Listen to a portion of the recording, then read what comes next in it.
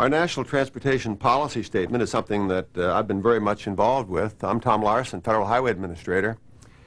And uh, one of the themes of that policy is a very close and detailed look at, at, technology, how it can help us to move America forward.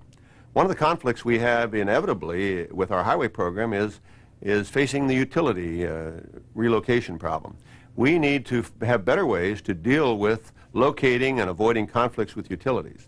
There's a new technology now, a subsurface engineering technology, that allows us to identify and, and really to mitigate this problem very early on. This tape is about that technology.